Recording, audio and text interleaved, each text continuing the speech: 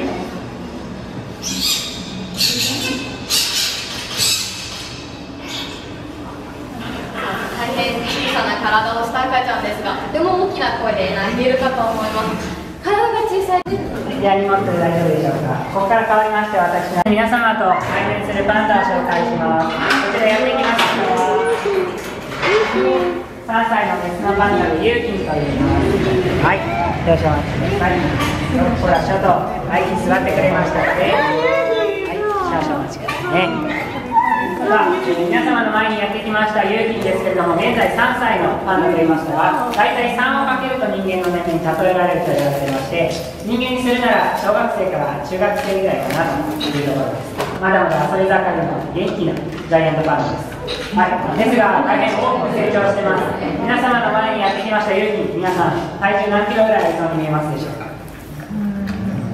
？85ぐらいはい、ありがとうございます。細かい数字ありがとうございます。はい、そしてそのせい、えー、数字大正解でございます。はい、現在はは本日実は体重測りまして、本日の体重で88キロありましというわけで勇気ももう一回り大きくなってほしいなと思っておりまして、そんなパンダたちが何を食べて大きくなっていくかと言いますと、えーこちらに用意しているような竹、これが主食なんですね。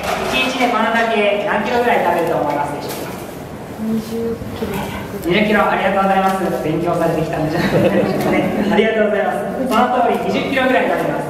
ここに用意しているだけで大体、えー、2、3キロぐらいしかありませんので、1日でトータルこの10倍ぐらいの量を食べてしまうというわけですね。なんでそんなにたくさんの量の竹が必要なのかと言いますと、実はパンダたちはもともと肉食動物でした。今日が以前から言ってたんですが、その昔は動物の肉を食べていたんですね。はい、ではあまり伸ばしすぎないようにご注意くださいね。はい、えー、そんなパンダたち、えー、今日ですね。竹が竹ました。足が取れてすごい足の裏だ。はい、えー、竹以外にもいろいろ食べてまして、野生下では他の植物や果物なんかも食べるし、あれには昆虫とか動物の死体なんかがあるとそういった肉も食べたりすると言われています。はい、でアドベンチャーワールドではこちらに用意しているようなリンゴや人参、動物用のディスケットといったものも与えております。はい、こういうリンゴや人参のような甘いもの実はパンの大好物です、え実は結構甘党なんですね野生下では野生下では蜂の巣なんかがあるとですねあの蜂蜜、えーなんかを狙って食べに行ったりすると言われておりますはい、えーそれでですね、えー本日は皆様からですね、こちらのリンゴや人参を少しずつですが、プレゼントしていただこうと思ってまして、こちらのパンダ用のフォークを使ってプレゼントを早速してもらいます。でこのフォークの先に私がリンゴや人参を刺しては皆様に渡しますので、皆さんこのまま夕日の口の前に持っていてもらいます。夕日はおやつをくれる人の前でどっかり座って待っててくれますので、皆さんこのまま夕日の口の前に持っていてください。そうするとはい。パクッと受け取ってくれます。じらしてしまうと夕日にガシッと掴んでくることがありますので、はい、うちなんではい、では、これ見ると、まずは気づいていただけるのが目の形ですね、えー目の周りは黒いものなんですけれども、遠くから見るとやっぱり垂れ目に見えると思います。が、近くで見ると結構キリッとしたす。り目というのが分かっています。もしかしたらこう噛み砕いて食べていきます。はい、ありがとうございます。さあ、そんな風にです。ね、はい、では後ろの皆様、少しずつ右の方にずれてお待ちください。はい、で今、後ろの私です。ね、ジャイアントパンダ、こうやって今も目でよく見て食べてるように見えますが、実は鼻とか耳の方が発達してます。匂いにはすごく敏感なんですね。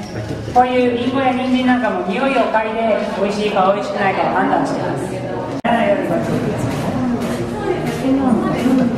ありがとうございます。でもう一つ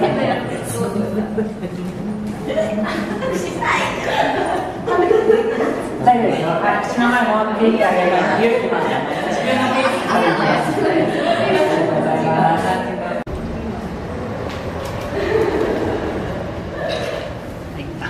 います。さあそれでは皆様がお戻りいただきまして、えー、これからですね、龍金と皆さんで記念撮影を楽しんでいただこうと思うんですけども、その前にですね、さあ、そうなんです。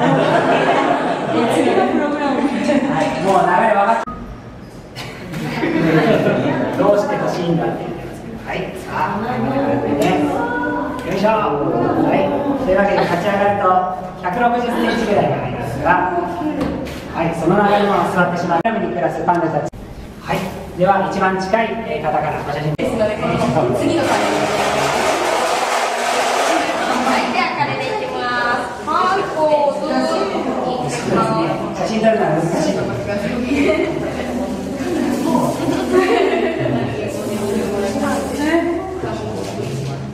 こうやって美味しいものを食べているときはですね、徐々に目が閉じていきますので、次だけ次の竹を食べちょっと見て。はい、当たってきました。ありがとうございます。名前が載ってますので、お願いします。美味しい時はうっとりとした。最初にお渡ししたテキストのページを見比べてます。写真のタイミングが分かるんですね。葉っぱの向きを揃えて全部日本に暮らしてるそのままでもなんかそうなんです。いいです。パンダに売っております。なのでかもしかすると出会ってしまってもかろうじて逃げ切ることはできるかもしれませんが、はい、まあ戦おうとしない。限り。はい、当たりできました。はい、ありがとうござい。ます。もう一つお願い。します。はい、ありがとうござい。ます。はい、ありがとうござい。ます。糸ままでお願い。ます。ポーズ。少々お待ちください。大体ツアー時代で比較的美味しいだけ用意してます牛乳ほとんど残さずに食べてくれるんですけど運動場などに出すときはやっぱりいろんな竹を出しますけどその中から美味しい竹をより好んでくれます帰り際にまたあの運動場をちょっとご覧いただきたいんですけどはい、お取りました。ありがとうございます。ちょ何枚か撮ってまい毛でできておりますパンダの尻尾です尻尾ははい、ひょろっとした長さが大体10センチから20センチぐらいの長さがあるんですけど毛がいっぱい生えてるのでポンポンに見えるんです赤ちゃんの画像を先ほど見ていただきました赤ちゃんの時の方が尻尾は目立って見えると思い確ます認お願いします。体はですね見ていきます。次のタイミング待ちください。雪待ちください。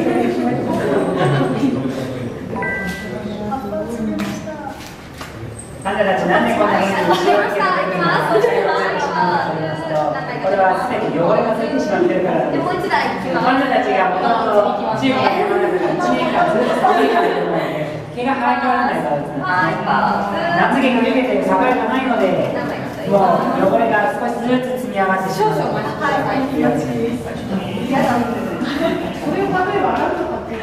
はい。あ、これだけで撮ってきます。そうなんですはい。これぐらい。の大きさになるともう直接ゴシゴシはい、やるお取りできました。はい、一何枚か撮ってます。はい、お願い。します。はい。金だけでもお写真撮ってい。ただきますのでこちらガラス面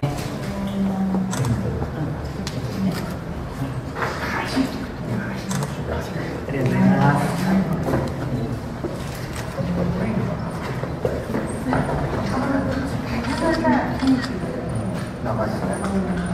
い、焦らなくても皆さんは撮ってからお分かりになりますので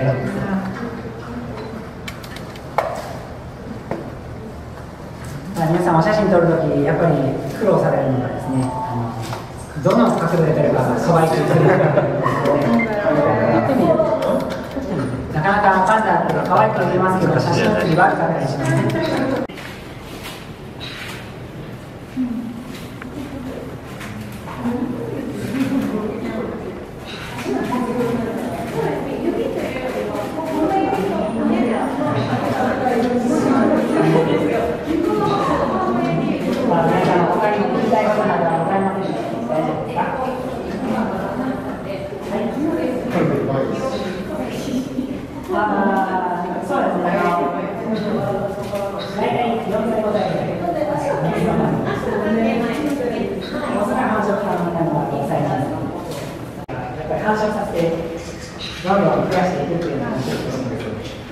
はい、ぱり親になってもらわないと私親の会がない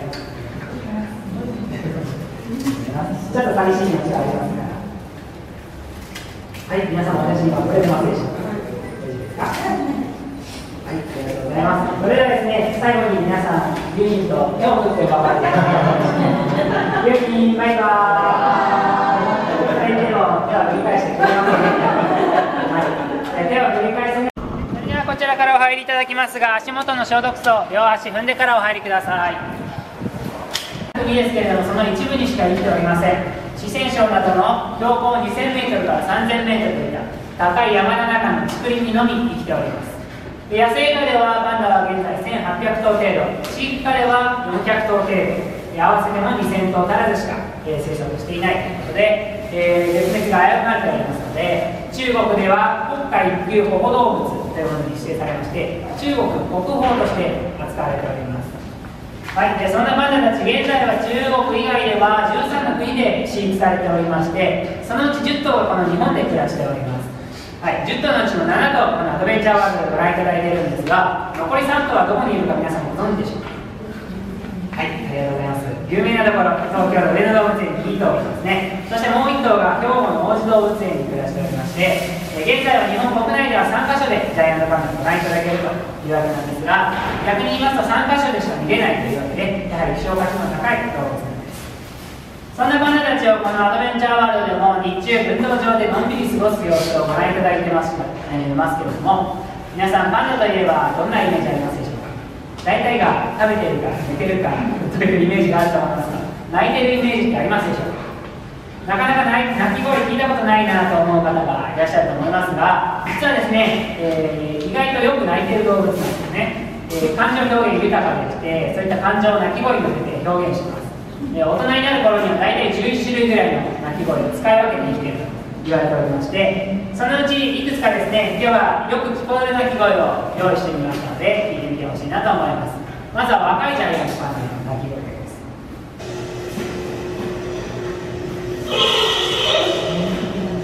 はい、初めて聞く方もいらっしゃると思いますが、ヤギのようなベーという鳴き声、これどんな鳴き声かと言いますと、はい、おねだりの鳴き声なんですね、えー、欲求の鳴き声なんです。えー、この時はですね、カメラを見せてるスタッフに対して、美味しいだけないから美味しいのちょうだいおねだりしていたんですね。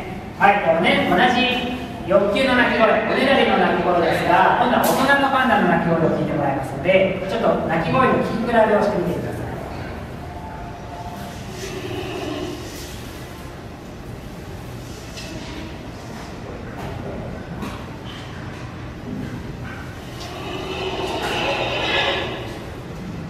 ちょっと違いが分かりましたでしょうか最初に聞いてもらった子供の方が甲高くて後から聞いてもらった大人の方がのぶとかったと思います。このようにですねパンダたち1頭ずつ鳴き声の質がやっぱり違いましてパンダたちは耳もよく発達してるので、えー、鳴き声の違いでどんなパンダがどこで鳴いてるのかちゃんと分かってるんですね。はい、えー、大人か子供かオスかメスかっていうのもちゃんと把握できていると思います。はい、この大人のパンダもおねだりしてるんですね。竹ちょうだいと言ってるんですけども私たちおねだりされても全部答えられるわけではなくてですねやっぱりちょっと放置してしまう時もあります。そういった時はパンダたちを怒り出してしまうんですね。はい。拗ねてしまった時の鳴き声を聞いてください。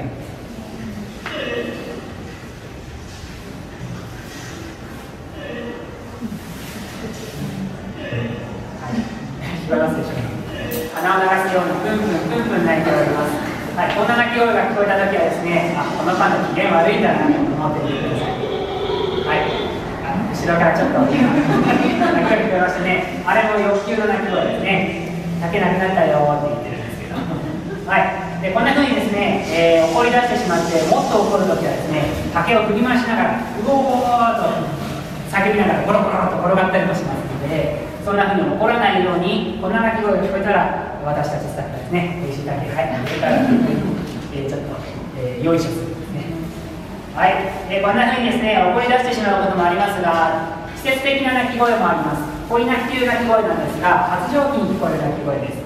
パンダの発情期というのは3月から5月、これからやってくる春に来るんですね。で発情が来ますと、オスがメスに猛烈にアピールします。手前にいるのがオスで、奥にいるメスにアピールしていきますが、最後にメスのパンダが答えてきますので、ちょっと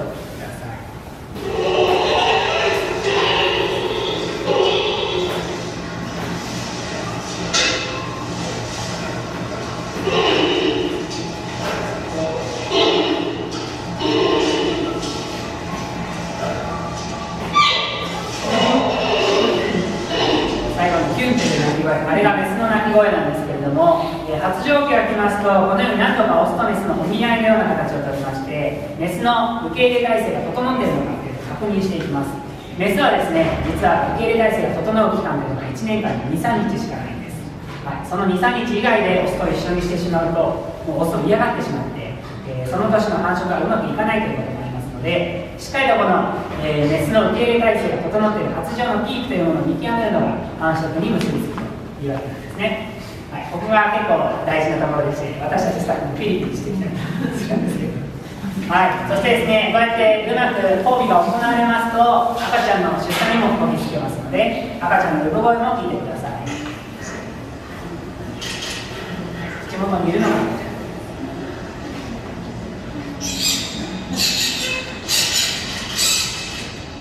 はい、思ったより大きな声じゃないでしょうか。元気な声が聞こえたかと思います。小さな体で生まれますが大きな声でアピールすることでお母さんパンダにここにいるよっていうのをちゃんと教えるんですね。そしてお母さんパンダもその声を聞きながら赤ちゃんがどこにいるのかっていうのをちゃんと確認しながらお世話をしていくんですね、はい、なので小さく生まれるから潰れちゃわないのかな心配になるかもしれませんがお母さんパンダすごく優しく抱っこしていきます。はい。では赤ちゃんの成長も少し見てもらおうかなと思うんですけど。も、はい、現在ですね外の運動場でのんびり暮らしてます王妃と桃妃今の体重はですねなんと45キロ超えるまで大きく成長しておりますけれども、はいえー生まれた時は 180g ぐらいでした。パンダの赤ちゃんは大体150から100 200g ぐらいの間で生まれてきます。生まれた時の姿はこんな感じなんですね。ちょっと拡大されてますけれども私たち人間の手のひらに収まってしまう。はい、生まれた時はネズミかなと思ってしまうかもしれませんけれども、はい、地肌のピンク色の地肌、えー丸見えの状態で生まれてきますのでこんな色なんですね。そして1週間ぐらい経ちますとうっすらと白黒模様がつき始めます。この白黒模様は全て毛の色なんですね、はい、パンダの、えー白黒模様は全て毛の色。はい、そうですね、尻尾長く見えると思いますけど、えー大きくなると尻尾なくなっちゃうのかなと思うかもしれませんが、ちゃんと成長もしてます。体はですね、ここからここまでのサイズは大人になるまで500倍から1000倍になるんですけども、尻尾のサイズというのは3倍程度にしかならないんですね。だから比率的に縮んでしまっているように見えるんですけれども、ちゃんと成長しています。また尻尾にも毛がいっぱい生えるんで、もうポンポンみたいな感じですね。はい、で順調に成長していきますと大体1ヶ月の経つ頃には立派な白黒模様のパンの、えー模様になります、え1ヶ月経つ頃には体重も1キロぐらいになりますので生まれた時から約1ヶ月でなんと10倍の重さになっちゃうというわけなんですね。すごく成長が早い。んです2ヶ月経つ頃には今度は目がパチッと開いてきまして可愛らしい顔を見せてくれるようになりますのでこれぐらいになりますとお客様からの歓声が上がってくるようになってきますね。そしてさらにですね、えー3ヶ月も経つ頃には今度歩けるようになってきますので、えーコロコロコロコロ転げ回るパンダの赤ちゃんが見れるようになってきましてまた今度はお客さんから悲鳴のような声が聞こえてくるようになってきます。はい、そして4ヶ月経つ頃には今度はですね木登りを始めてしまいます。歩くのはもう上手になっちゃいます。ねはい、木登りもパンダたちは危険から身を守るためにおのずと、え身につけていくんですけども体に筋力がついてきて、えー両手両足の鋭い爪を使って高いところまで登っていけるようになるんですね。たまにはボテンと落ちるんですがパンダたち皮膚も分厚いのでほとん。ど怪我することはありませんのでご安心くださいそして木登りも、えー完璧に覚えますと今度は外の運動場にデビューすることができました。外の運動場大変広いんですけども子供たちはですねもうバーッと駆け回りながら元気な姿をご覧いただきました。そして6ヶ月も経つ頃には体重も10キロを超えてきましてお母さんパンダと一緒にゴロゴロと転がって遊ぶ姿もご覧いただけるようになりました。はい、というわけで半年でもう10キロになってしまいましてもうすごく成長が早いんです。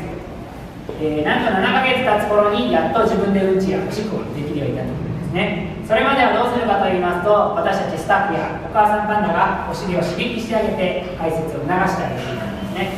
はい、で、えーやっと7ヶ月過ぎてもう自分でおしっこやうんちもしっかりとできるようになってきたらもう私たちもちょっと一安心ということで。すはい、で大きい頭皮はですね、えー無事大きく成長してますので現在1歳3ヶ月に超えてますけれどもこのパンダラブで2頭でもう暮らすようになっております。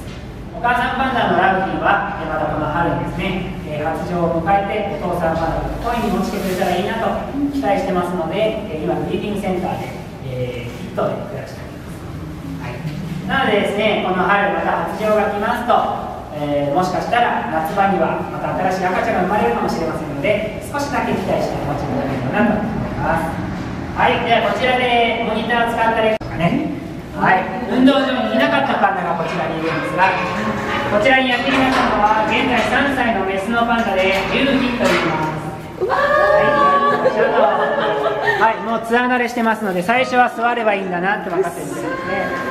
いやすいませんが皆様ちょっとだけあとちょっとだけ下がってもらえます。か、赤いところだけは入らないでくださいね。さあこちらやってきました。ユーキンですが現在3歳と言いましたけれどもパンダの年齢大体3をかけると人間に例えられまして人間にするならば、まあ、大体小学生か中学生ぐらいかなというところです、はい、まだまだ遊び盛りの子供なんですけれどもさあ皆様目の前にやってきたユーキン体重は何キロぐらいありそうに見えますでしょうか？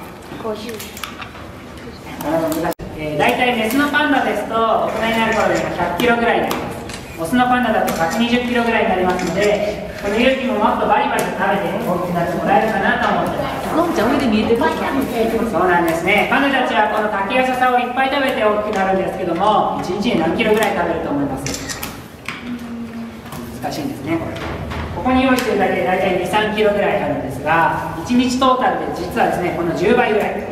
2 3 0キロ食べますなぜそんなにたくさん食べるかと言いますとパンダたちはもともと肉食動物です。動物の肉を食べていたんですがえー進化の途中で竹を食べるように変わってしまったんですね、はい、ですがお腹の中の消化器官は肉食動物の頃のままほとんど変わってません。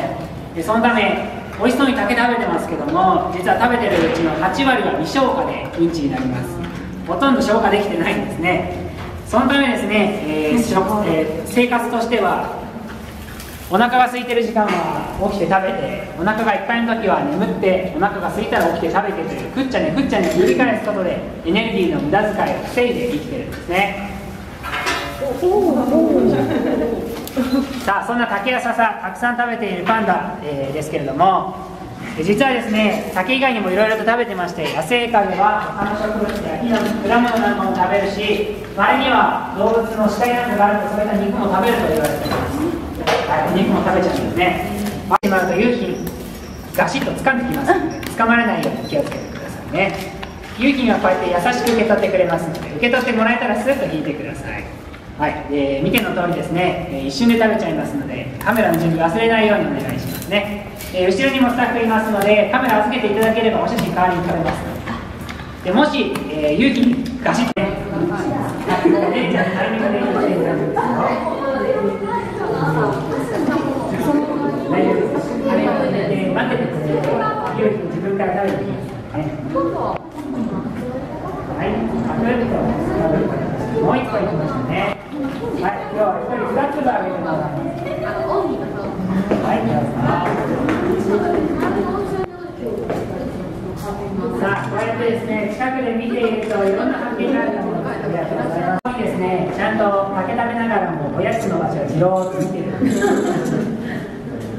りがとうございます。というわけで、ね、鋭い爪がついています。巻き爪状になっております。この爪を使って木登りを上手に行っていきますね。ありがとうございます。小さい頃は木登り上手。夕日はちょっとここで竹を食べながら休憩してもらいます。はい。夕日休憩中に今度は皆様にはこのバックヤードを見学していただこうと思うんですが、お手数ですがバックヤード見学中だけお写真とビデオ撮影ご遠慮いただきますのであらかじめご了承ください。戻ってきましたらまた夕日お写真撮る時間ありますのでご安心ください。すぐに戻ります。ゆう、頑張ってくれ。さあ立ち上がるとパンダはですね結構大きくて160センチから170センチぐらいあります。そのまま横に移動したりもしますけれどもこうすることでですねあの足腰のトレーニングを行ったりしてるんですね。はい。足は短くて可愛らしいですよ。いしょ。はい。おやつがないとすぐヘタってなってさあそんなユーギーと皆さんの記念撮影どこでするかと言いますとちらにですね特等席がありますのであそこにユーヒーが座りましてはい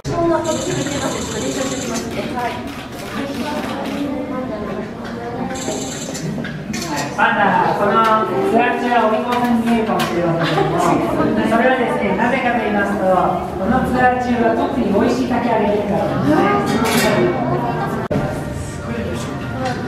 なのであげたらスープ食べてくれるんですけども、パンダたち鼻がよく発達しているという話しましたが、竹の匂いも嗅ぎ分けてしまうんですね。はい、運動場なのでは大体嗅ぎ分けて美味しい部分しか食べてもらえませんので、運動場の竹見ていただくと結構綺麗になりま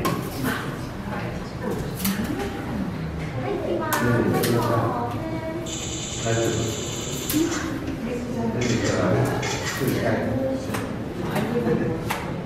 そうですね、人間は大体もう見た感じで選んでいくんですけども、まあ、これも一概には言えないんですが、まあ、今で言うと、こちらの方が美味しそう、こっちの方がちょっと美味しくなさそうなんですが、これがですね、まあ大体一一一緒にあそう。一周してます。で、幹に生えて、で葉っぱもきれいで、あとは、好きなそういた色とか、葉っぱのつき具合とか、葉っぱの大きさとか、そういったところで私たちはしっかりと見上げていくんですが、ただですね、これも1年としてずっと同じ基準ではないんですね。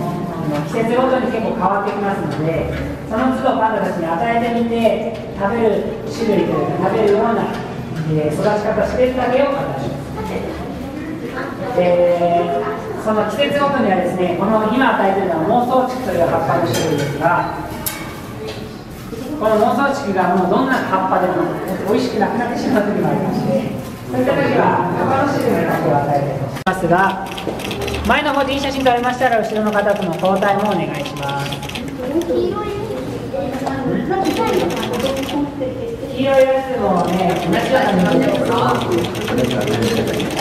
ほとんど臭くはありません。はい、じゃあ前の方で撮れましたら後ろの方と交代お願いします。そうですね、ずっと食べてます。食べてる時、美味しい時っていうのは目を閉じて食べます。します食べながらでも寝ながらでも何でもします。たたっぷりだね。茎と葉っぱのうんちが混じってますね今は。はいはい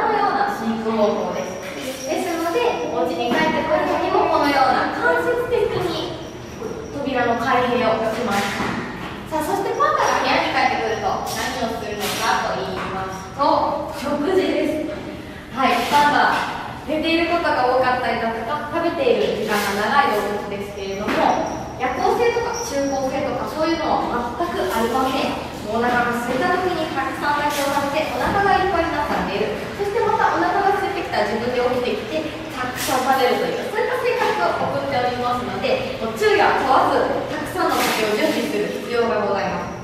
アドベンチャーワールドでは24時間体制でパンの飼育を行ってますので必ずパンチームの中でも1人のスタッフは決まっていますけれども7頭もいますので1人で7頭全部付きっきりというのはなかなかできませんそのため1つのお部屋にたくさんの竹を刺しているんですこれもそのうちの一つなんですけれど奥の部屋もご覧いただきましょうこんな感じです奥の部屋も全部びっしり竹詰めていますけれどもパンダはこんなにたくさん竹を与えても自分の好きな分しか食べない動物で本当に味にうるさくグルメにしているんですねそのため次の日私たちスタッフが出勤してくるどうなっているのかと言いますとこんなことになっています。はいこの竹を下敷きにしちゃってますけれどもパンダもこれ食べないんです。もういらないと判断した時は全部捨ててしまいます。そしてうんちもたくさんしますので結構パンダの飼育スタッフ掃除が大変なんですね。はい例えば30キロ与えて10キロぐらい食べてくれたらいい方かなというところでほとんど食べません。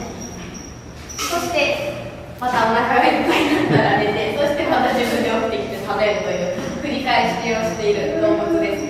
寝ていることも多いんですけれどもぜひそれは生きるためなんだなと思ってぜひ温かく見守っていただけたらと思います。こういった食べて寝てを繰り返す理由についてもまた後ほど判断見ながらご説明してまいります。さあではこちらでしたプレミアムでしたっけ？はいお待たせしました。やってまいりましたではこちらのパンダ何から紹介していきましょうはい皆様の前、はい、順番に回りますのではいご安心くださいまずこちら側のお客様の前から失礼します。はいではやってきました。このジャイアントパンダ名前紹介してまいりましょう名前をユーニと言います優しいに白浜の浜ユーヒンはいメスのパンダです。ユーヒンはアドベンチャーワールド生まれ一人っ子で生まれてきました。はい。3歳でメスのパンダなんですけれどもパンダにして3歳というのはまだ若い年齢で。すはいそうなんですね。パンダの寿命はだいたい野生下で15年飼育下で2 3 0年と言われておりますのでユーヒンの3歳はまだまだ子供です。人間で例えると大体小学生くらいかなといったところで。すはい小学生くらいのユーヒンですけれど結構体大きく見えますよね。ユー体重も95キロほどございます。はい。大人のメスのパンダで100キロ近くまで体は大きくなりますのでユーヒンももう少し大きくなるんじゃないかなと思います。はい。ブリーディングセンターにいるお母さんのラウヒンやお姉ちゃんのヨーヒンに比べたら小ぶりです。ただやっぱり王ヒンの頭皮に比べるととても大きく見えますね。はい。さあそん。なユーヒンなんですけれども今ユーが食べているもの何だと思いますかすごく硬いものを食べていますけれどもこれは竹なんですはい竹ってご紹介すると結構葉っぱの部分想像する方多いんですけれどもパンダ結構竹の茎の部分が大好きです。ユーヒンユーヒンちょっと向こう見てますね。はい。食べる理由としてはこの時期春ですからやはりタケノコに栄養がいくようでしてどうも茎の方を好んで食べるんです。時期によって食べる食も場所が変わります。種類も全然違います。はいそうなんです。面白いですよね。結構ね、はい、冬とかに来ていただきますと葉っぱばっかり食べているパンダご覧いただけるんですがこの春だとか夏の時期にご来園いただくとこで茎ばっかり食べている姿ご覧いただけます。さあそんなパンダ草食動物ではございません。竹ばっかり食べていますけれども雑食性の動物です。ユヒン何か気になるようですね。耳がいいですので何か物音がするとそっちを非常に向きます。はい草食動物ではないんです。さあ最初にもお話ししましたクマの仲間ですか？ら雑食性。何でも食べる動物です。野生のパンダですと竹以外に木の実だとか昆虫鳥の卵ユヒン。どこ行くの？ユヒン。ユヒン。ほいこっちユヒン。おーい少々お待ちくださいね。はい結構神経質でしてちょっとした物音でもユヒンこっち来てす。ぐ今匂いを嗅いでいますけれどもここのレクチャー場なんですけれども他のパンダも入ります。なので他のパンダの匂いがすると気になってそっちの匂いを嗅ぎに行ってしまうんですね。はい。もう大丈夫ですか？匂いのチェックは見ましたかゆうきよいしょはい。座ってもらいましょう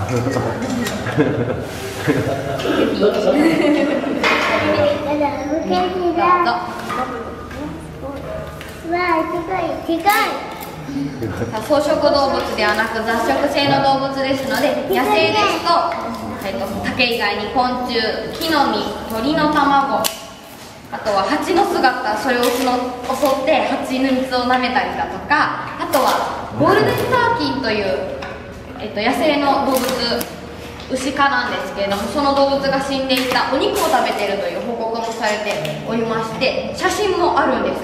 はい実は何でも食べてしまう動物です。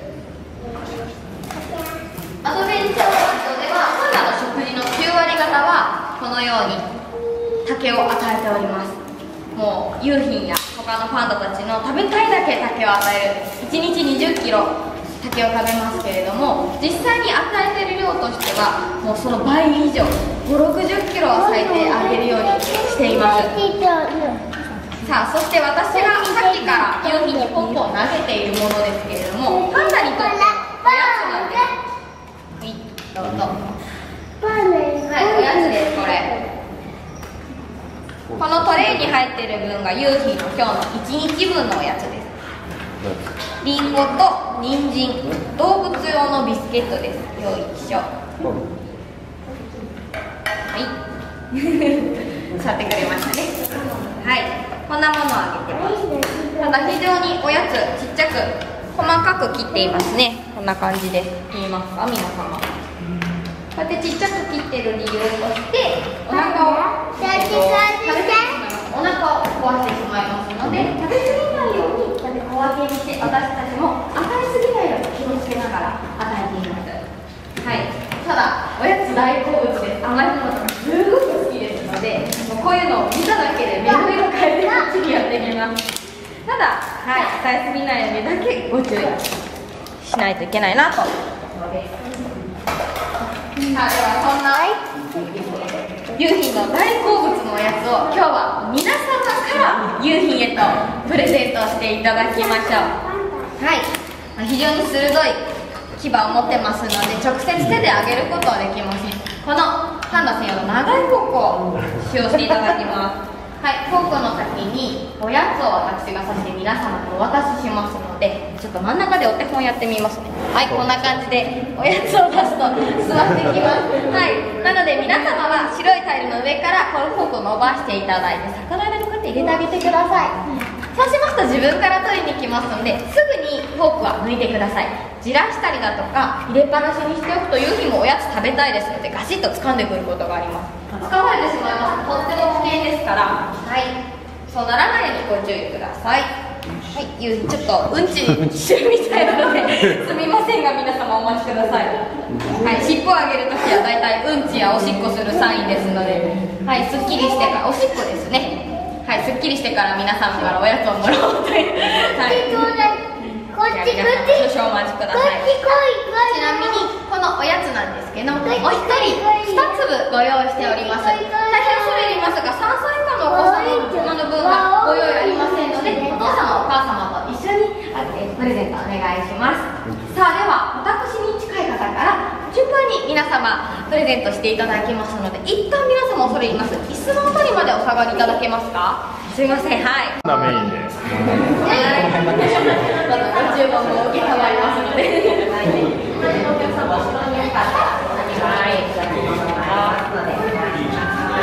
はい、ではお待ちの間に後ろのテーブルの上にもパンダに関するさまざまなグッズご用意いたしましたので、こちらぜひご覧ください。はい、ありがとうございます。はい、OK です。はい。はい、テーブルの上にはパンダの本物のうんちも持ってきてますので、皆様勇気ございましたら匂いを嗅いでみてください。ほとんど匂いはしないんじゃないかなと。はい、あと2粒ご用意しております。はい、はい、どうですか。はい。はい、パンダのうんちが臭くない理由なんですけれどもパンダは実は、大昔はお肉を食べる肉食動物でしたはい、マンモスなどが存在していた時代から生きていた動物です。赤いところに入らないでお願いします。すみませんはい、その頃肉食動物でしたがはい、ありがとうございますこの白黒のジャイアントパンダ想像するできるかと思うんですけれどももともとパンダって呼ばれていた動物はレッサーパンダでした。はい、ありがとうございます。連続でつけてしまいますとユーミンお腹壊してしまいますのでちょっとユーミンのお腹の休憩ということで竹を食べさせて休憩させますその間に皆様にはこのパンダラブのバックヤード私たち飼育スタッフのお仕事などもご紹介してまいりますこのバックヤードのみ見学をあごめんなさいごめんなさいいらないこっちははいもうグルメ度合いがこれでお送りいただけたかと思うんですけれどもこれはいるらしいですはいバックヤードのみ写真撮影をご遠慮いただきますので一旦撮影機材の電源オフでお願いいたします。またすぐにこちら戻ってまいります。のでお荷物はそのまま置いたままで結果でございます。では私に代わりましてバックヤード皆さんでばっかりで。本当に95キロあるのかなって疑われてる方もいるのではないでしょうか。ちょっと夕日この竹食べ終わったら立ち上がってどれくらいの大きさなのかを皆様にご覧いただきます。ちょっと竹食べ終わるまで少々お待ちください、はい、結構立ち上がると大きな体をしています。皆様シャッターの準備はよろしいですか？もうすぐ食べ終わるのでお待ちくださいね皆様がバックヤードご覧いただいてる間夕日ずっと竹食べてたんですけどこの竹は気に食わなかったようで、はい、食べませんでした。でも今日は割とたくさん食べてくれる方なので私もちょっと安心しています。夕日食べましたか？はい最後の竹食べましたので夕日にはちょっと立ち上がってもらいましょう。はいいきますよ。はい。りんごどうでしょうか？皆様。こちら側のお客様の前にも用意しょカニ歩きもできちゃうはいどうでしょう？はい皆様大丈夫ですか？でここでおやつご褒美をもらうとヘターっと座ってしまうしんどいことあんまり好きではありません。それ食べるの食べないね。はい、はい、これはいじめてるわけではないんです。これもトレーニングです。やっぱり野生のパンダに比べると飼育されているパンダは行動範囲が とても狭いですので運動不足になりがちなんです。運動不足あまり良くないですので あえてこうやって高いところにおやつを置いて足腰を鍛えるこんなトレーニングをします。まあアドベンチャーワールドだけじゃなくてこれ中国でもやってる方法です。はい。よいしょ。はい頑張ったら座っちゃいますねさあでは最後に皆様にはユーヒンと記念写真を撮っていただきます。はいただここで撮りますと柵が映り込んでしまいますのでユーヒンには場所を変えてもらってはい何か気になると思いますはい、ありがとうございます。はい、ありがとうございます。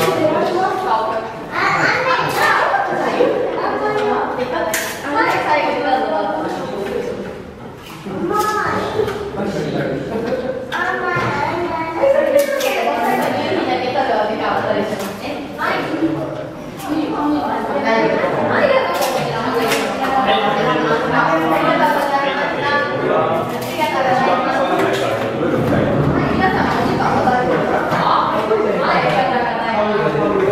はい、ちょっと真ん中の方どちらかに寄っていただきますというふうにより移りやすいと思います。はい、ありがとうございます。はい、お取りします。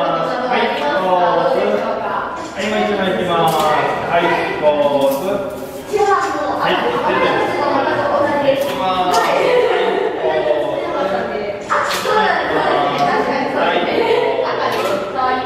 ズ。はい、じ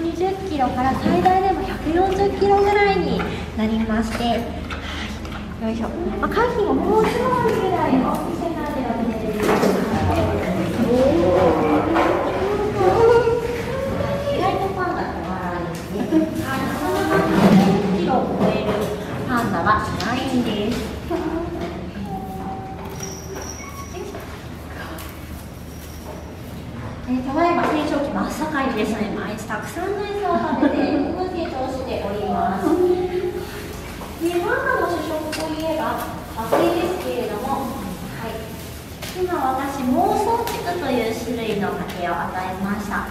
まこちらは普段私たちが食べるタケノコの葉っぱの部分です、はい。まあ季節によって美味しい竹の部分竹の種類が変わってきますのでその時期その時期によって美味しいものを与えられるようにアドベンチャーワールドに56種類の竹を選んでえその時期ごとにあげております。この秋から冬にかけては妄想竹の葉っぱの部分が美味しくなってきますので、はい、この妄想竹をね中心に与えております。この苔のはい、餌はこれな好んで食べてる。これはですねビスケットなんで。す。はいこちらはなんだろうおやつなんですけれども、はい、リンゴとニンニクのビスケットをおやつとして与えています。はい、ビスケットと言いましても猿用ですので甘くはないんです。はい。食物繊維やミネラルがたくさん入っておりまして、はい、補助食としてパンダに与えております。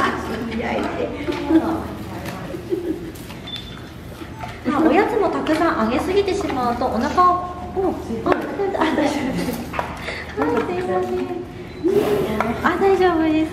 お腹を壊す原因になってしまいますので。今までお茶をしてさあこのツアーの時間はおやつたくさんもらえますので会費も喜んでいると思います。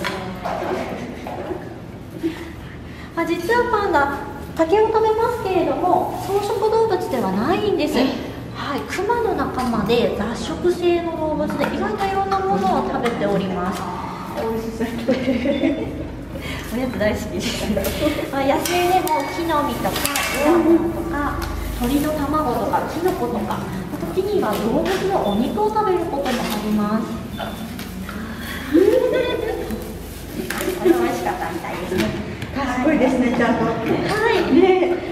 順番に取ってってそうなんだこちらが先ほどあの冊子に載っていた竹の食べ方なんですけれどもちゃんと葉っぱのあ葉っぱの向きも揃えてちゃんと束ねていきますとても手が器用なんですまだちょうだい美味しいのが食べたいのはい、実はパンダは大変グルメで美味しいところしか食べません。美味しくなければ押してしまう。面白いねよいしょ。はい。あ、さっき落としちゃったので、あれはしてます。ありがとう。はいでは、せっかくですね、本日ぜひ皆様と会費仲良くなっていただきたいと思いまして、今からおやつのプレゼントをお願いします。で、あげ方なんですけれども、高いに可愛いんですが、よく見ると鋭い爪や牙も生えております。手であげるのは危ないですので、こちらパンダ専用の方法を使っていただきます。で、おやつをさしてお渡ししますので、お湯の中にちょっとだけ入れてお待ちください。はい。回避マイペースですので、回避のタイミングで食べに来ます。はい。はい。おやつのあるところならどこでも来てくれます。はい。こんな風にパクッと、はい、食べてくれますので、食べたらフォークは抜いてください。そのままにしていたり、じらしたりすると、おやつ欲しくって、フォークを持ってってしまうことがあるんです。力が強いですので、失敗やったらなかなか勝てません。もし、もしフォーク持っていこうとしたら、あげてしまっていただきたいです。まだ1周目食べてしまいますので、お写真撮られる方、ぜひシャッターチャンス逃さないようにご注意ください。後ろにもスタッフおりますので、カメラやビデオをお預けいただきましたら、お取りいたします。また、1人2粒ずつございますので、ごゆっくりお楽しみください。ただ、3歳以下のお客様の分だけございませんので、あの保護者の方、一緒にお願いします。はい。そうですね。はい、うちはわがまま言っても聞い。てくれるってちゃんと知ってます。はい。はい、それでは一組様ずつ前の方へ来てい。ただきますので、恐れ入ります一度後ろの方へ下がってい。ただい。てよろしい。でしょうか。はい、あり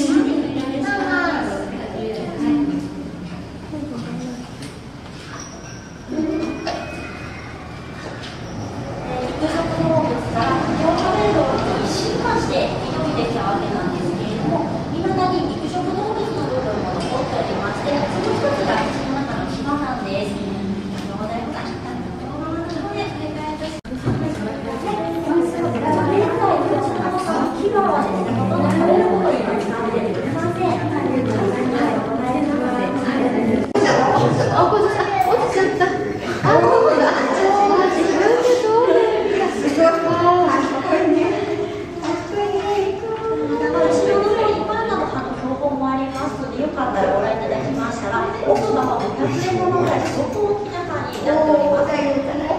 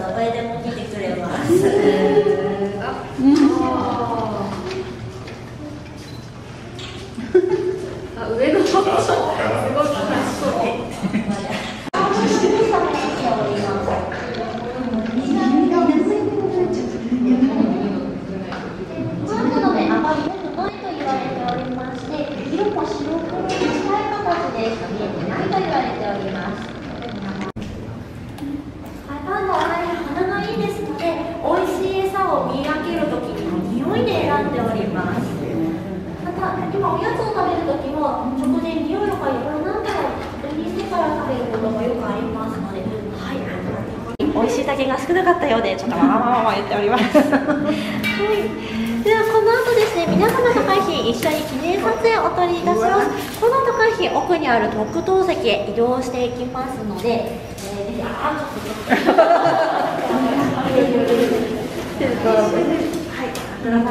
先ほどと違う種類の花を持ってまいりましたが、これは美味しいって書いてちゃんと知ってるんです。はい。の話も先ほどあったかと思うんですけ、ど。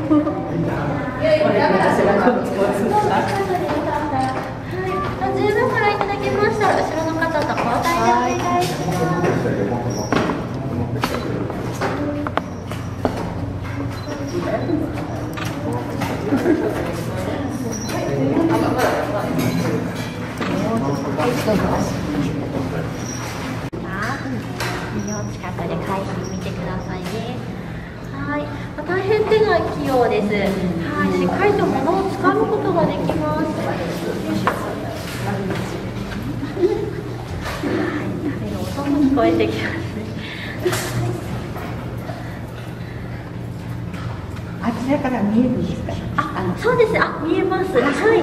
ただあんまり目は良くないので、どこまで認識できているかあれですけれども、ただ皆様の声とか、あの匂いとか、ああのしっかりと、はい、感じており ます。ほら、あーおやつちょうだい。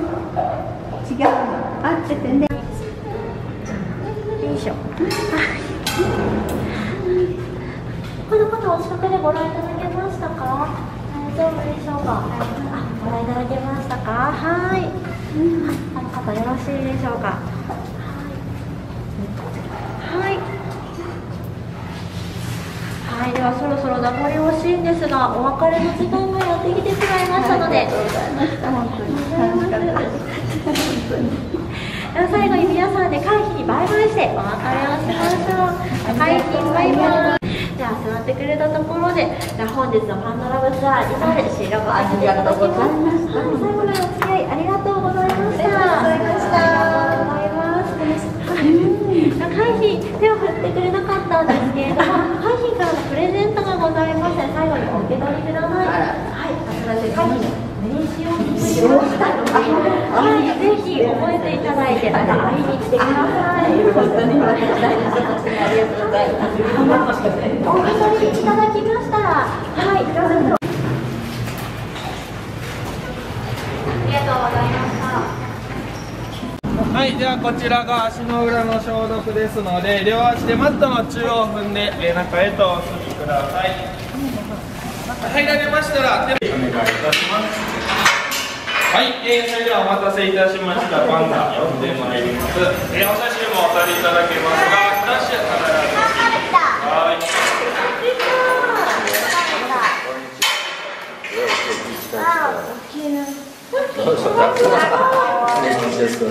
はい、お待たせいたしました。こちらのお部屋やってきてくれましたのは、現在4歳のメスのパンダで、名前をユーヒンと言います。はい、どうぞ。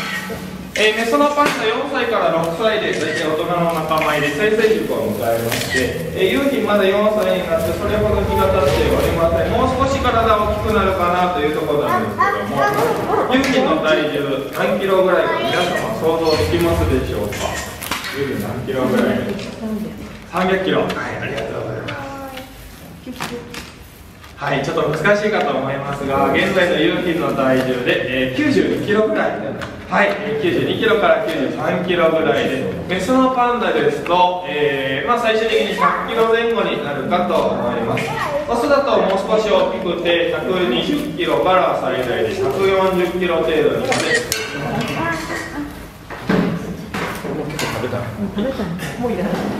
味が嫌なのはい、どうぞ。ねえ。ー、夕日ですけども、よいしょ非常に目つきが鋭いのが特徴的ですので、まあ、皆様後ほどぜひじっくりご覧いただく機会もあるかと思いますが夕日の目つきにもご注目ください。今主食の竹を少し与えておりますがちょっとあまり気に入らないみたいですね。食べてくれません。こちらのおやつに夢中です。えーパンダ草食動物と思われがちですけども実は雑食性の動物でして野生では竹以外にも他の植物や、えー木の実昆虫鳥の卵なんかも食べますし、えー自分たちで狩りをすることはありませんがごくまれに動物の死骸が落ちているのを見つけますと拾ってそのお肉を食べるということも報告されております。アドベンチャーワールドでは竹以外にもえーおやつとしてこんな感じでリンゴと人参とビスケットも与えております。はいこのビスケット本来はパンダ用ではありません、えー本当は猿が食べておりまして大豆やトウモロコシなどから作られているものなんですけども、うん大変繊維質が豊富で栄養価も高いのでパンダにもおやつとして使う目目見える。ますおーすごいじゃんねえーそれではですね、本日、えーこちらのおやつ小さく切ってご用意しましたので、今から皆様から夕日にもおやつのプレゼントを与えていただきます。えー与え方、まず一度お見せしますのでご覧ください。直接危ないので、この長いフォークを使っていただきます。えフォークに刺した状態でお渡ししていきますので、魚の隙間から少し中に入れていただいて、お待ちください。はい、夕日がきれいに加えましたら、フォークは優しく引き抜いていただきますようご協力お願いします。届かないところでじらしたりですとか、なくなってからずっと中に入れておきますと、早くちょうだいとフォーク掴んでしまう恐れがございます。万が一掴まれましたら引っ張り合っても絶対勝てないので、このフォークは渡してください。えーまたお一人様4歳以上の方から2粒ずつご用意しておりますが一瞬で夕日に食べてしまいますのでお写真ご希望の方はカメラマンの準備が整ってからで結構です。ゆっくりとお話しくださいえーなおご希望の方後ろのスタッフお写真のお手伝いもいたしますのでどうぞお気軽にお持ちください。えーそれでは恐れ入りますがグループごとに順番に前に出ておやつを与えていただきますので皆様一度後ろの椅子のあたりまでお下がりいただいてよろしいでしょうか。ぜひ口の中の様子や目つきなどゆっくりご覧ください。はいじゃあ2つですね。お願いしますあ今右足が柵の外に出てきてますけれどもこれあの結構勇気に独特の座り方でしてはいあのもうちょっと調子いい時は左足も出てきてあ二粒ずつです。ね。ほらここに見て。はい、お写真準備できてからで結構です。お渡しください。ゆうきの足の裏をご覧いただきますと、びっしりと毛が生えているのもお分かりいただけますでしょうか。この足の裏の毛、えー寒いところに住んでいる動物は結構こうやって足の裏にもびっしり毛が生えていることが多いです。寒さから、はい、ありがとうございます。終わられましたら、続いて、えー右側の方、はい、どうぞ。ということで6名様ですね。はい。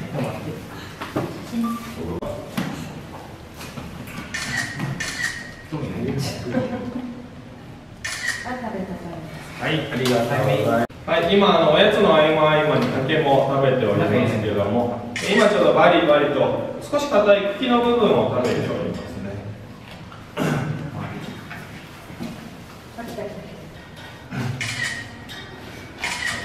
はい、ありがとうございます。はい、ありがとうございます。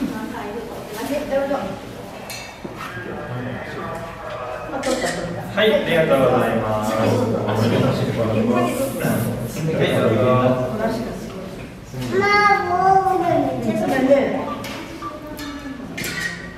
い、ありがとうございます。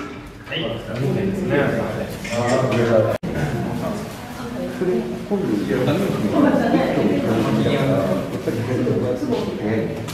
はい、大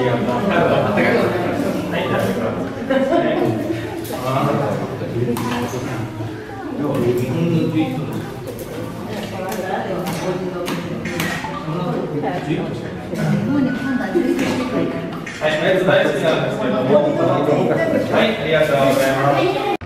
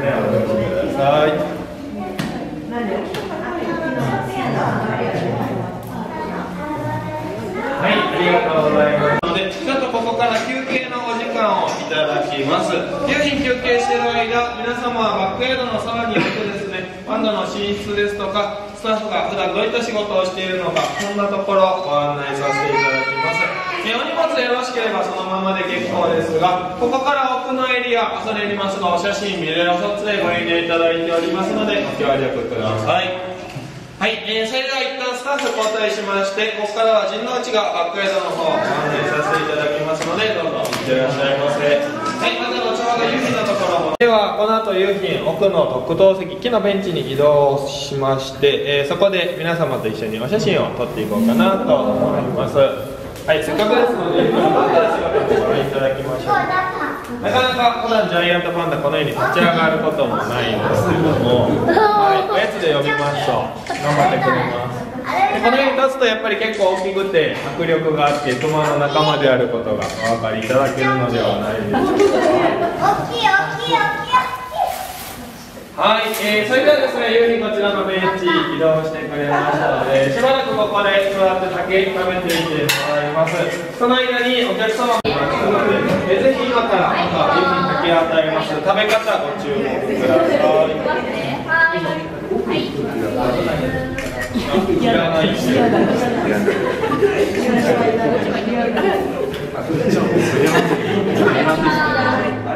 し。は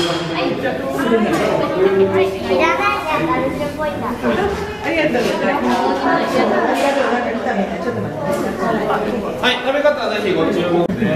ちょっとおやつを一緒に挟めて。食べ直すこともはい、じゃあ皆様、お写真お撮りいただけましたか？大丈夫でしょうか？お撮り直しご希望の方いらっしゃいませんでしょうか？大丈夫でしょうか？はい、えーそれではですね、よろしければここからけども皆様お分かりいただけますでしょうか？はい、あまりパンダ尻尾のイメージないかと思いますけどもまあ、あまり大きくはないですけどもしっかり尻尾は生えて。い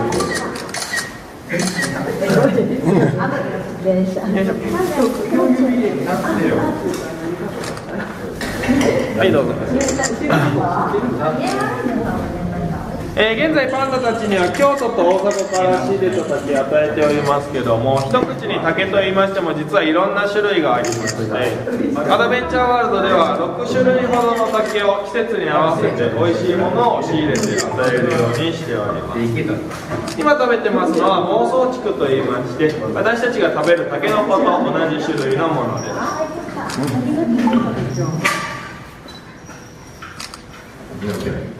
はい、とても美味しそうにちょっと目もとろんと閉じかけてしまうほど美味しいみたいですね。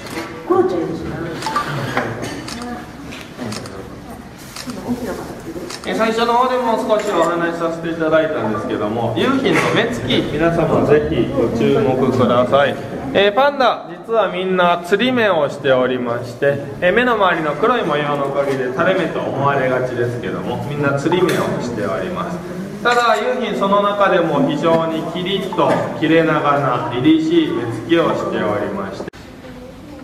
えお写真まだお撮りでないという方いらっしゃいましたらぜひ前の方順番にお越しいただきまして皆様お近くでお写真をお撮りください。また何か気になることご質問等ございましたらお気軽にお申し付けください。えパンダと言いますとこの白黒模様大変特徴的でして、えーこれなんでこんな模様をしているのかっていうのは実はまだはっきりとしたところは解明されておりません、えーパンダという動物がそもそも発見されてからまだ150年程度しか経っていない非常に、はい、発見されてからまだ日の浅い動物でしてまだまだ謎が多い動物です。雪が積もるよう山の中で暮らすパンダはこうやって白黒模様をしていることで雪の景色ですとか岩肌ですとかそういった風景に溶け込んで周りの動物から、えー見つかりにくい、外敵から見つかりにくい色となっているのではないかっていう説もただ全く反対の考え方なんですけども野生でも非常に頭数が少ないです、えー恋の季節にお互い見つけやすいようにこんなちょっと白黒模様変わった模様をしているのではないかという説もございますはいどうぞはい、えー、それでは皆様お近くでお写真をお撮りいただけましたでしょうか。丈夫でしょうか、えー、それでは名残惜しいですがそろそろお別れの時間となってしまいましたので最後に皆様は夕日終了とさせていただきますけども夕日手を振り返してくれなかった代わりに最後にちょっと預かり物をしております、えー、夕日の名刺ですね。今から皆様にお渡ししていきますのでぜひお受け取りください。はい、こちらの名刺、最初にお渡しした冊子のポケットの中よろしければお入れください。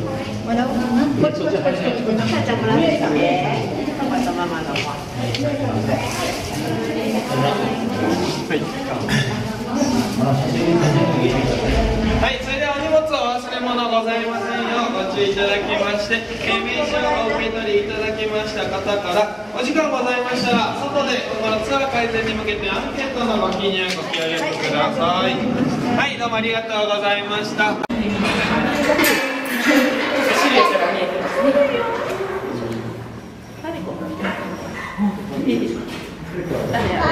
ずはやってみまして、はい、ますね。今やってみましたの、6歳のオスのパンダのカーキンというパンダです。はい、カーキンですが、今、マーキングといって、まあ、犬とかでも自分のおしっこを柱につけたりする方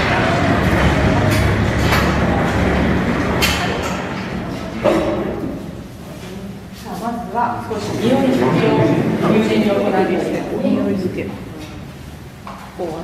さあ先ほどまで実は妹のトキンというパンダがこちらのあの方にやってきておりましたので少し別のパンダが使った後ということで匂いを入念につけていただきますはい最近最近最近ちょっと興奮しているようですね最近引っかいてるよ。最近最近最近よいしょ。さあ、はい、6歳なんですけど、本日6歳のお子さんいらっしゃいますでしょうか？はい、ありがとうございます。一緒ですね。6歳のお子さん、体重は失礼ですが、何キロかお聞きしてもよろしいでしょうか？何キロですか。18キロ。ありがとうございますさあ実は海浜6歳ですが現在110キロでございますねじゃあ6人分ぐらいでしょうか。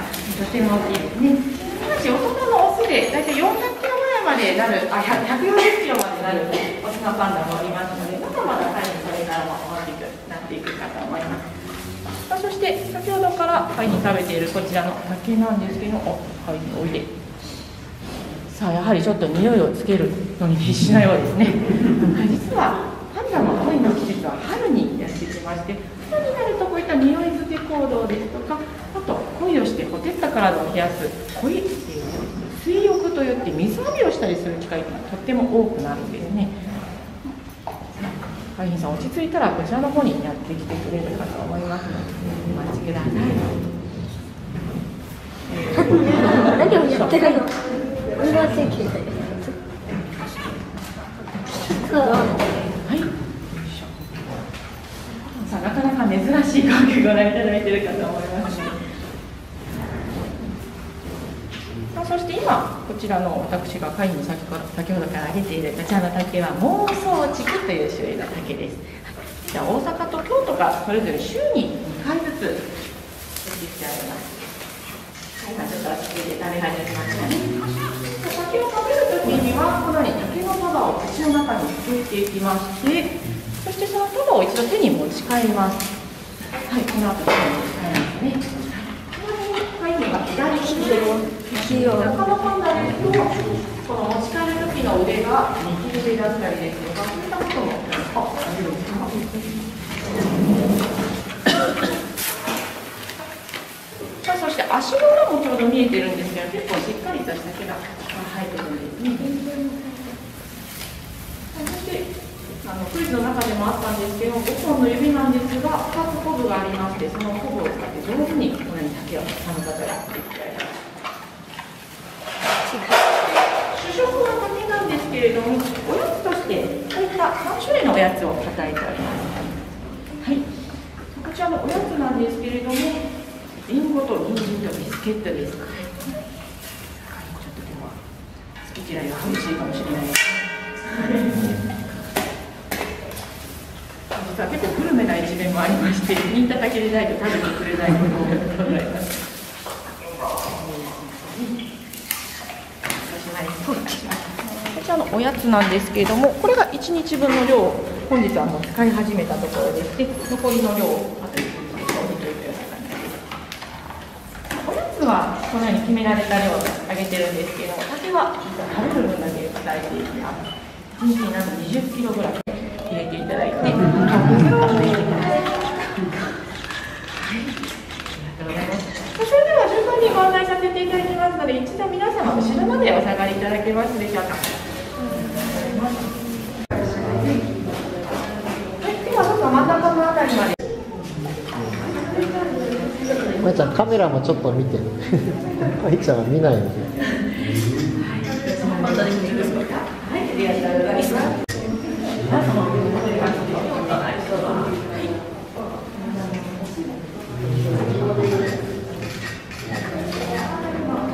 い、ありがとうございます。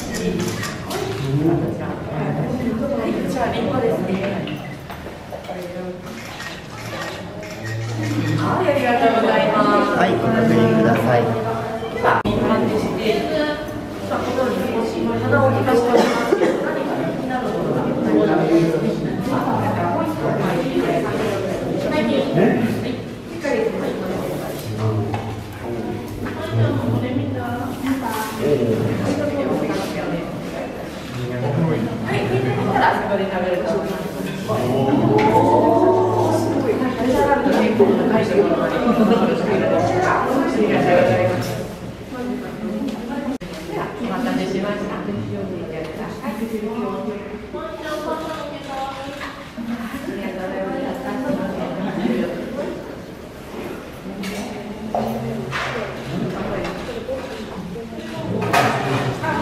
りがとうございます。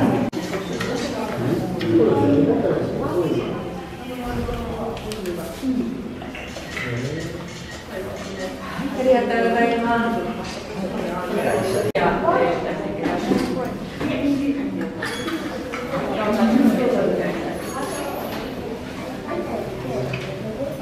い。海浜の顔を正面から見ていただきますと少し頭の絵が遠かったような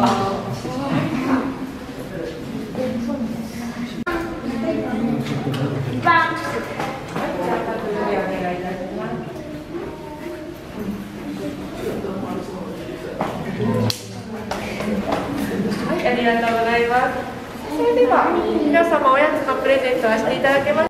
少し皆様先ほど採血のトレーニングの話があったかと思いますので、今度はあきさん。はい。さあ少しでは別のトレーニングを皆様にご紹介させていただきます。はい、あ、ちょっと先走ってしまいましたね。まだですよ。はい。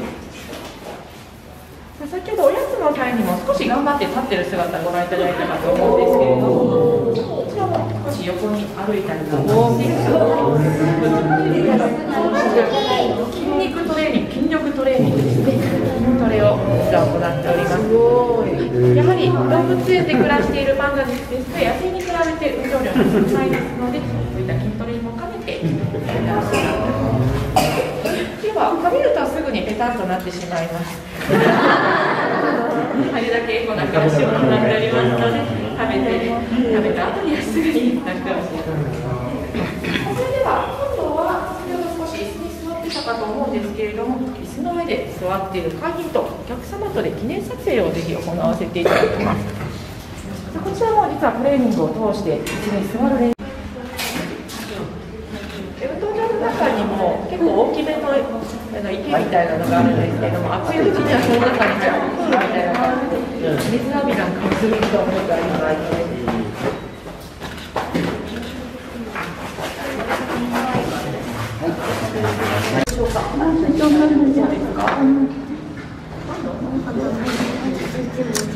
がとうございます。さあそれでは少し名残惜しいんですけれども、会議とのお別れの時間もやってきてしまいました。では最後にぜひ皆さん手を振ってお別れをしましょう。はい、バイバイ。耳はいいので、きっと声は届いているかと思います。そんなえー会に変わりまして、本日は使い物をしておりまして、名刺のプレゼントを松井さんも一つ一枚ずつさせていただきます。最初にお配りした冊子の1ページで、本日出会ったパンダのところに入れていただけるようになってますので、ぜひ入れてお持ち帰りください。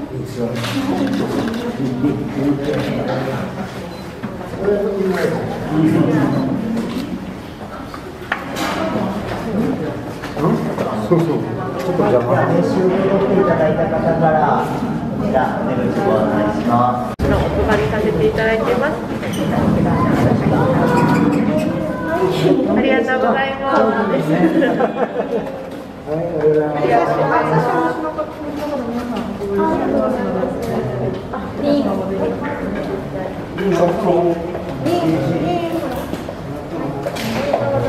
書いて盗品と言います。はい、お姉さんは桜に浜と書いて盗品です。見られてます。はい、現在2歳ですけれども、人間で言いますと、まだ小学生ぐらいの子供のパン様です。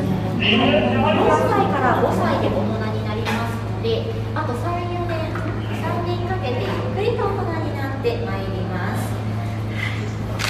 まだまだ成長期真っ盛り形だから美味しくてみんな喜んで食べておりますでパンダ竹を主に食べますけれども9割ほどはもう竹なんですがあと残り1割はですねあの脱食性というか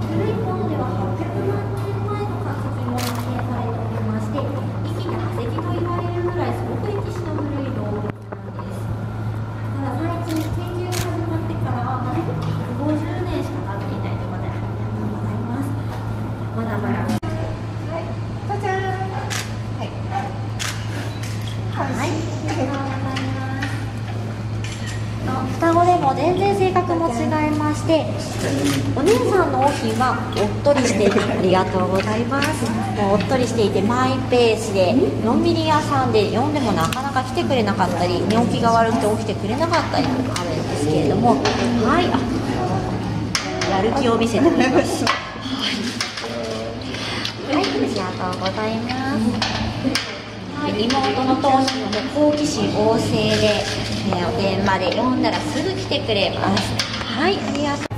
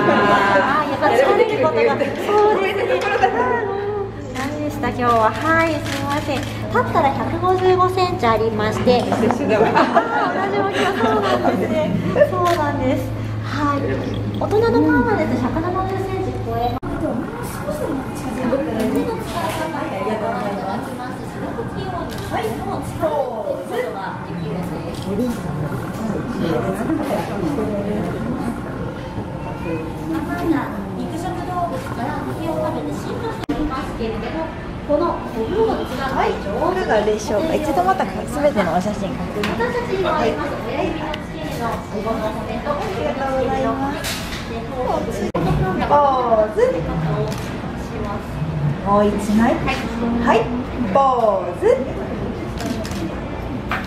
すごいスマイリーさあよろしいありがとうございます今、匂いを嗅いで美味しかったので、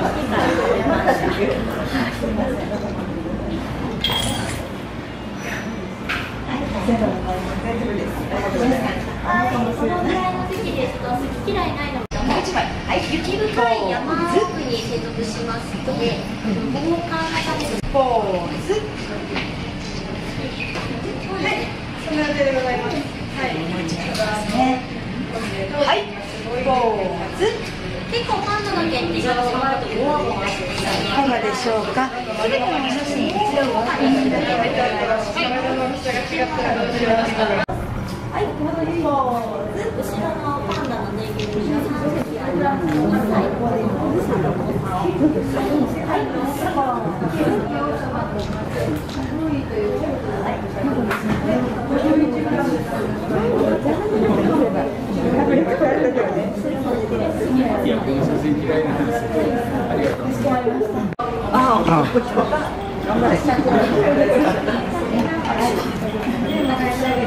の方でご覧いただきます。後ろの方との交代をお願いたします。はい、ありがとうございます。はい、他に気になること、ご質問ございま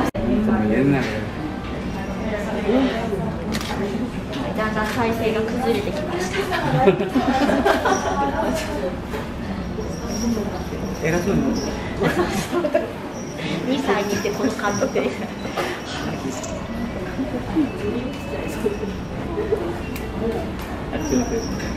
方で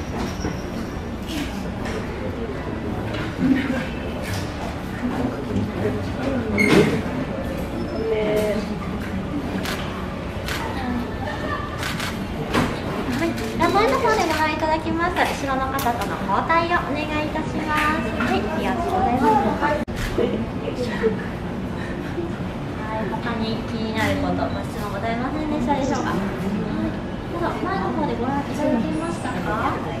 はい、後ろの方もご覧いただけましたか？はい、それぞれ顔が違いますので、ぜひ後で見比べていただけたらと思います。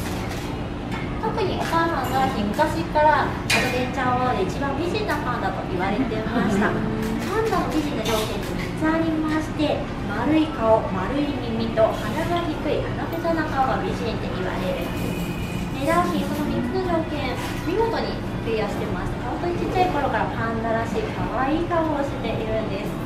でお姉さんの王妃ですね。双子の姉の方もランキーとって本当にまん丸でまん丸の耳をして鼻が低いですので次の美人は王妃かなというところですけれども、はい、王妃が当時に愛嬌のある顔をしております。はい、皆様十分ご覧いただけましたでしょうか？ご覧いただけましたか？はい。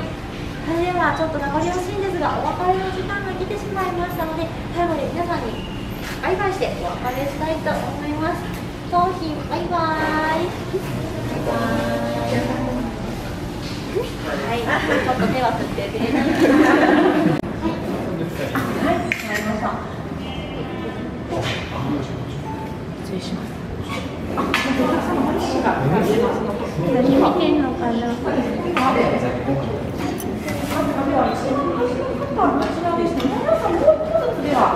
右側の方に少し移動していただいてよろしいでしょうか。説明名ですとかいろいろお聞きいただいたと思うんですけれども皆様今目の前に来ているパンダ何品かお分かりいただけますでしょうかこちらなんですけれども双子のパンダのお姉さんの方の名前は桜の花と書きまして王子と言います。はい可愛いねこちらは背もたれを上手に使いまして食べることがあります。よいしょ。さあ近くでご覧いただくと結構目は垂れ目ではなくてつり上がっているのもお分かりいただけるかと思います。よいしょ。さあそして今度は独特なんですけれどもここに尻尾が前に来るような座り方をします。こちらは特にパンダ座りと呼んでおりましてそんなパンダ座りの中でも本人は背中をペタンとつけてこのような体勢で食べることがよくあります。さあ食べていくそうですね。今左腕に持ち替えたの皆さんお分かりいただけましたでしょうか、はい、実はパンダにも利き腕というのがありましてこちらの雄の場合は左利きさあそして妹の本人は実は右利きなんですねこの2姉妹でも使いやすい腕というのがあるようです美味しそうはい、こちらもコロコロしたパンダがたくさんついてます。そして1日に大体20キロから30キロぐらい竹を食べるとお話しさせていただいたんですが、大体このツアーの時に準備している竹3キロぐらいですので、その大体10倍ぐらいの竹。さあ、たくさん葉っぱついてる方じゃなくて小さい方を取りましたね。用意してあります。そしてまた分かるようになったかもしれないんですが、こういった竹以外にもお肉もアドベンチャーワールドでは入れてあります。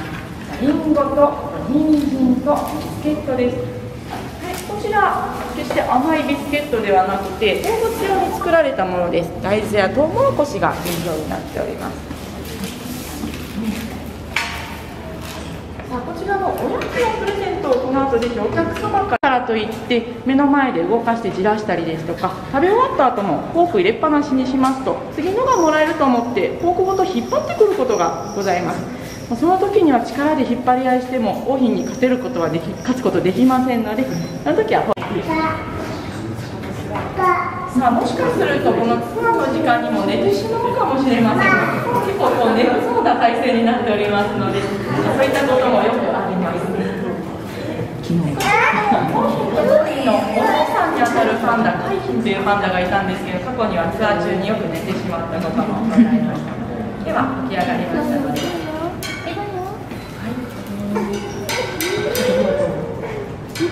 はい、目が少しとろんとしてますね。こんな感じでおやつ柵の中に入れていただきますと、パクッと食べてくれますので、食べたらすぐにフォークは抜いてください。はい。さあまたこちらご覧いただいたように一瞬でおやつの時間終わってしまいます。はいぜひカメラマンと息を合わせてシャッターチャンス逃さないように撮影お願いします。だからスタッフもついてますのでお、手持ちのカメラお預かりいたします。あ、どうやらお手洗いをしているようですね。さあ、うんちをするときにはこのように尻尾を上げて。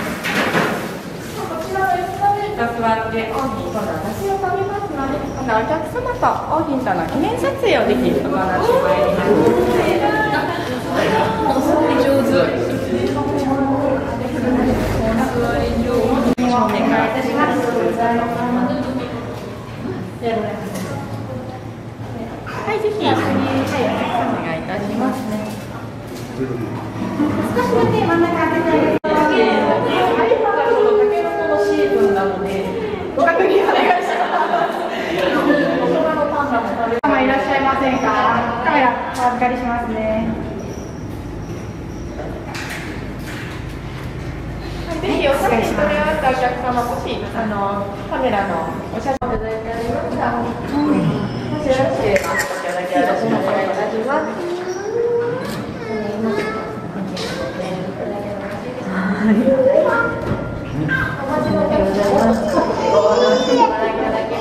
近くで交代しながらお写真撮影お願いいたします。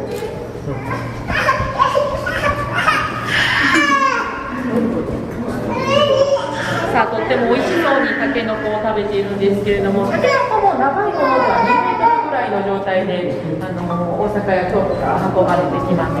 先端の方はこういう感じになってます先端の方が実は好きですのでちょっと上げてみましょう。はいどうぞ。よいしょ。よかったら交代で。はいすみませんがよろしくお願いしますぜひお近くでご覧ください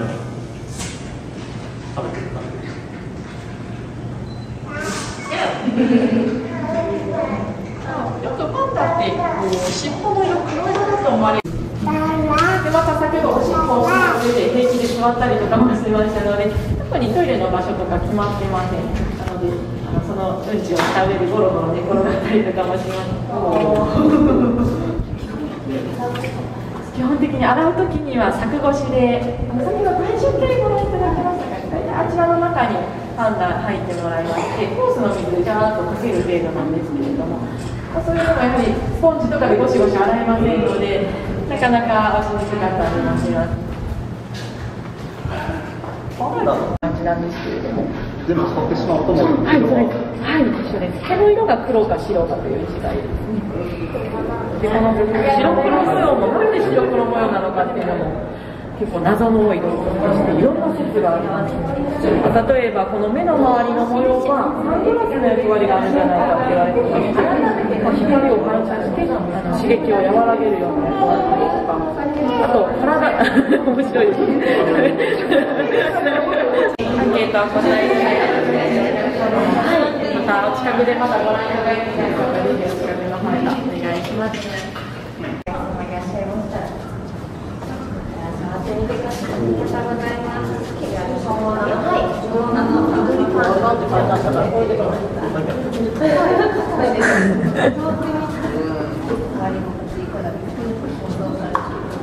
違うんです。そうですよね。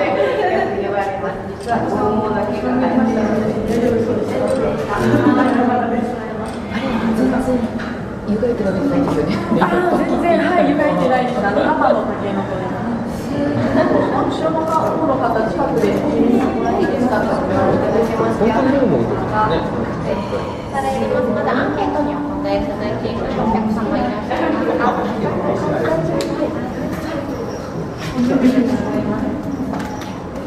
あ、ありがとうございます。あ、人分けでも、タケノコでしたら、パキッと割れるんです。よ。はい。竹はちょっと私たち、手ではちょっと割れないように。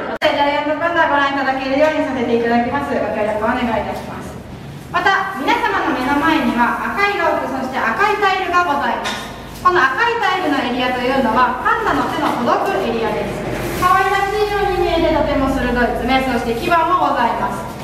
引っかかれてしまいますと大きな怪我をしてしまいますので、とても気持ちはわかります。見たくて見たくてこう前になっていくのはわかりますが、皆さんはこの赤いロープから手や足、そして体を出さないようにして、パンダとの対面をお楽しみください。はい、さあ、皆様の目の前とやってきておりますこちらのパンダ、2歳の双子のパンダのうち、桜浜と桃浜、さてどちらでしょうか？皆様わかりますか？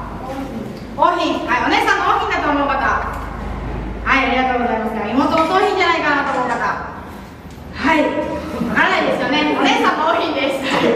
もう、えー桜に白浜の浜と書きまして、桜浜です。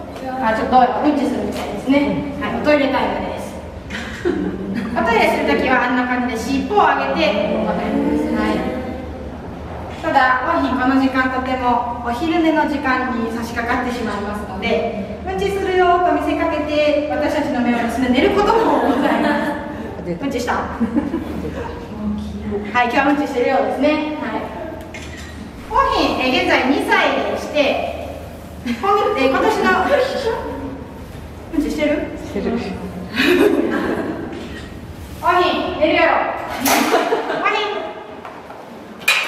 おーい。桜浜。そのまま。桜浜。尻尾だけで返事してる感じがまだ何とも言えませんが、桜浜現在、えー2歳でして、今年の12月に3歳を迎えます。はい、ただ、この2歳というのはまだまだ子供の年齢でして、さあ、体もですね、まだまだ小柄な子供のパンダの体つきをしております。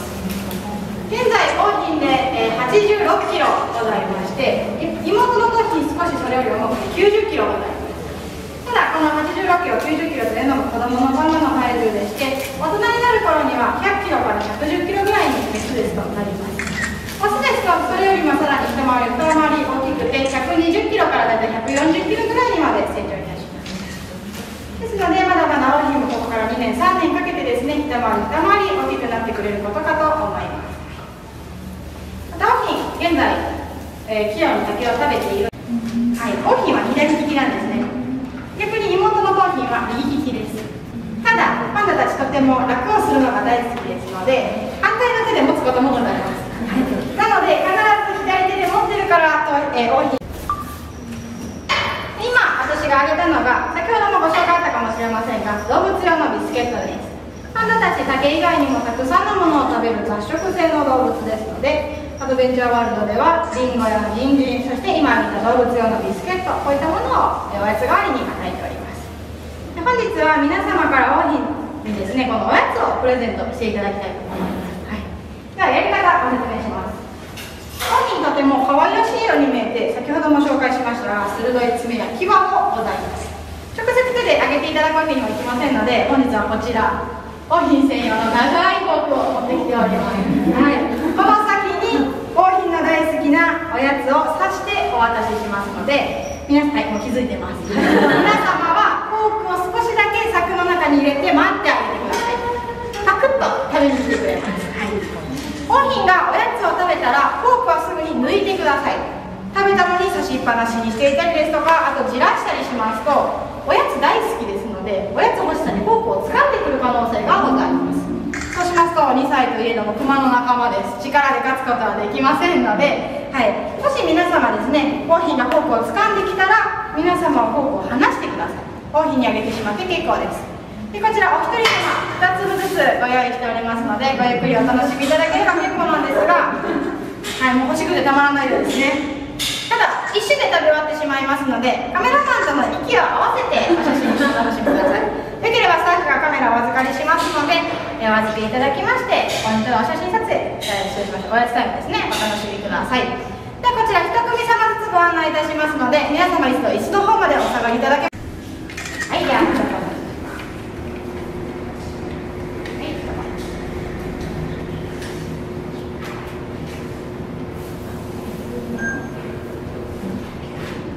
はい、あれよ、その方。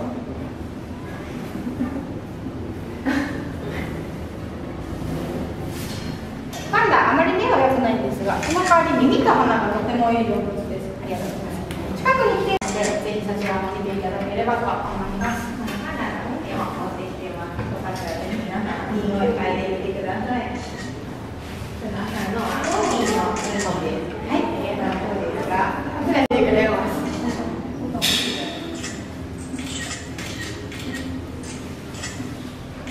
はい、ありがとうございます。では反対側もおりください。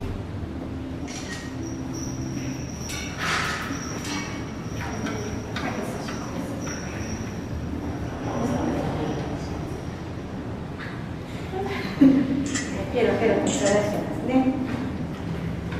ありがとうございます。手も触ったことありますか？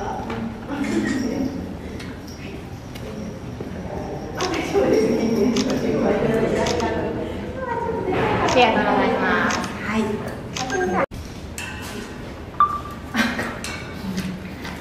近くで見ていただいた際、口の中も少し見えるかと思いますので、ぜひ見てみてください。しっかりとした牙生えているんですが、これはにありがとうございます。肉食動物の時の名残でして、現在ほとんど使っております。はい、どうやら竹を挟むみたいですね。柵の中に入れて少し待ってあげてください。はい。あ、恐れ入ります。お連れ様が、はい、お写真を撮って、運動場なんかで見せますと、竹を置いてでもやってくるんですが、この時間というのは、えー、竹